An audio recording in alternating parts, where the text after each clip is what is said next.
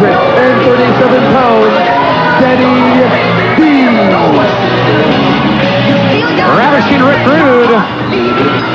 Hey, Tony. Yeah, Jeff. Watch out. Watch out. Whoa, and Rude's going in there.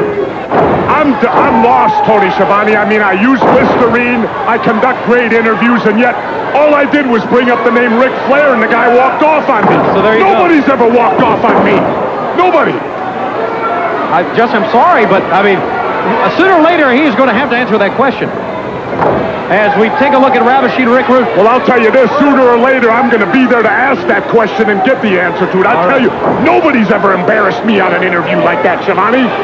And I'm not mad at you. Well, just settle down here now. Let's, let's stay focused. I feel a lot right now like Ravishing Rick Rude feels. Well, I, There's no more talking to the fans. There's no more gyrating the hips. It's down to business. Just like Rude. Well, that's exactly what we're seeing from Rick Rude, and, and there is a there is an air of uh, I don't know disgust from. Look at that DDT from Ravishing Rick Rude. He can win the match with the DDT if he wanted to. I mean, it's it's common nature, Schiavone. Look at Oh, he picked him up. Yep. It's common nature, Schiavone, for somebody to walk off on you. We understand that. But to do it to me? Well, maybe you came off like a Morley Safer or Ed Bradley or somebody like that. You think? Or Geraldo, do you think? I don't know. Back to the matter is, we've got a former U.S. heavyweight champion who is on literally a rampage. You heard the comments a week ago.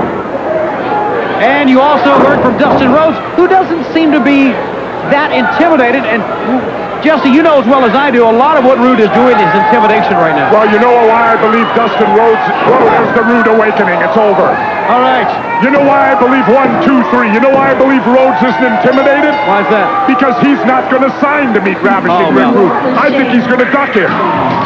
It's easy to not be intimidated when you're ducking somebody. Well, I don't know if I agree with that. I think Dustin is willing to sign the contract should it be presented by World Championship Wrestling again, Jesse Ventura. Let's go back to replay. There it is, the infamous Rude Awakening. Ravishing Rick Rude hits it on Deese, gets the even, the easy cover right there. One, two, three, and Rude with no...